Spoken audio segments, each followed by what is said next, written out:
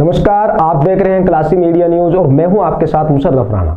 चलिए शुरुआत करते हैं इस वक्त की बड़ी खबर के साथ। उन्नाव में असुविधाओं का तांता लगा हुआ है। अपनी जान को जोखिम में डालकर टूटे फूटे पुल से निकलते हैं बच्चे व बुज़ुर्ग। वहीं आपको बताते चले कि ये पूरा मामला विधानसभा सफीपुर व विकास खंड मियागंज के गाँव बनोनी रामपुर का है।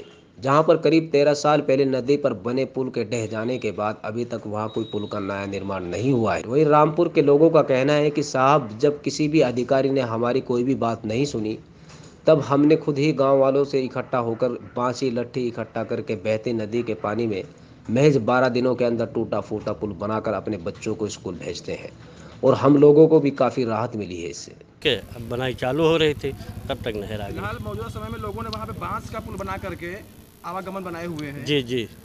क्यों? हाँ? जी एक्चुअली नहर के गाँव की उस तरफ़ जूनियर स्कूल है। फिर उधर खेत एत लोगों के हैं। तो इसलिए चंदा इकट्ठा करके लोगों ने पुल बना दिया आवाज़ आवागमन के लिए क्योंकि बच्चे स्कूल भी जाएँगे। इसलिए वो पुल बना दिया बाँस को। हाँ, मेरा नाम उमेश चंद है। मैं पापा रामपुर गहरी का रहने वाला हूँ। और सर, करीब पंद्रह सोलह साल से हमारी पुलिया माने जो है टूट गई है, इसलिए मजबूरी में हमें लेटरिंग और जाने में दिक्कत होती है, आने जाने में दिक्कत होती है, इसलिए बाँस का हमने जो है टट्टर बनवाया है। टेम्परेची बाँस का पुल हमने बनवाया है, इसी से आने जाने में जो है फिर भी दिक्कत होती है, बच्चे भी गिरते हैं और बच्चे आने जाने में भी उनको कष्ट होता है। स्कूल नहीं जाते हैं। स्कूल नहीं जा पाते हैं जूनियर हाई स्कूल के बच्चे। बोलो।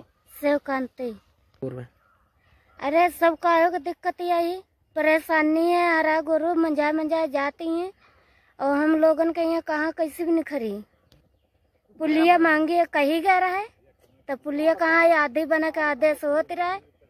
तो फिर सब लोग कहा गवा कि पुलिया सगरी बने।